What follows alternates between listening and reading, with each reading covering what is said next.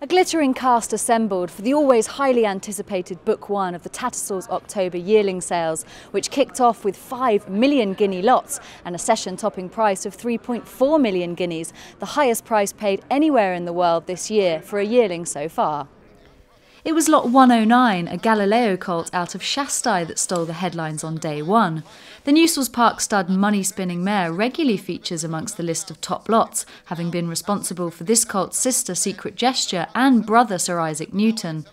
A recent Group 2 win for juvenile brother Japan added further fuel to the bidder's fire, with Japanese trainer Mitsu Nakauchida entering the battle late on, before eventually surrendering to the might of Coolmore's MV Magnier wonderful result. The whole team is delighted, and I have to say the team did a fantastic job.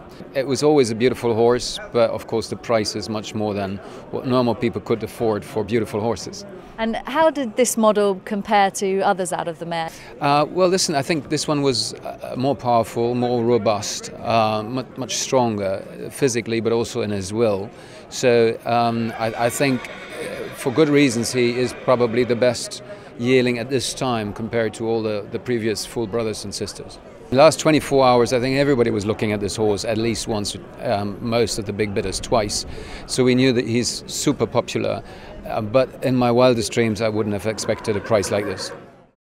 The million guineas mark was broken for the first time in the day, just 28 lots into the sale, by another offering by the multiple champion sire Galileo in the Glenvale stud half sister to Group 1 winner Garswood, who sold to the US based Emmanuel de Seroux for 1.2 million guineas.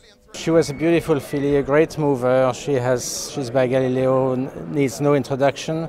She's from a great family, so we have uh, high hopes. She may stay in training in Europe because we believe that uh, Galileos have done very well here, and they are obviously, and they are more suited to European racing. So she may very well stay here. The day's leading consigners Newsells Park Stud enjoyed another box office lot earlier in the day when a colt by Galileo out of Posset, a full sister to champion race mare Midday, was knocked down to Stroud Coleman Bloodstock for 1.1 million guineas.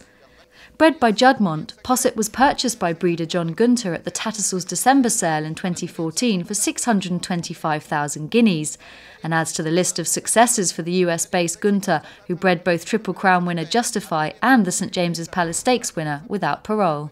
Always a beautiful colt the day he came out of the mum, and um, he's just been a you know very straightforward to do. We've been enormous privilege to, to do him. He's just a lovely horse, beautiful horse, very athletic great pedigree by the world's best sire. So what can you not like? You can never budget for them making a, a, million, but we thought he'd make half a million plus, and if everything fell right, there was always a chance he'd make a million. So, you know, we were lucky enough that we had uh, Coolmore bidding against Sheikh Mohammed, once that happened, I thought there was a chance, and it was it was lovely for them. They were they were thrilled, obviously, because they really love the colt, and they're not afraid to race their horses as they've done very successfully with without parole, amongst others. So they're delighted that he's gone to a good home, and they they got a fair price for him, which is great. 1.1 million guineas was the price also paid by Stroud Coleman Bloodstock for lot 113, a Dubawi colt out of the Group 1 place Scirocco Star, consigned by Meon Valley Stud. Purchaser of the session's top lot MV Magnier added lot 112 to his haul of five lots for the day when going to 1,050,000 guineas for a Kingman colt from Kilminfoyle Stud. Bought as a foal last December for 135,000 guineas, the Langton studbred offering was a record breaking pinhook success for Michael Fitzpatrick's operation, who landed the offering by the sire of Calyx and Sangarius as a foal with their final bid, only to register their biggest pinhook success to date just 10 months later. He was just a very athletic walking horse and he had size and scope and strength. And I bought him here in Tattersalls last year off of Giles Waits, the breeder. Uh, he's a very good breeder, so it gives you extra confidence buying off a good breeder. He just kept continuing to grow and strengthen, and uh, Kingman, the sire, has just really taken off over the last few months, which was a big plus.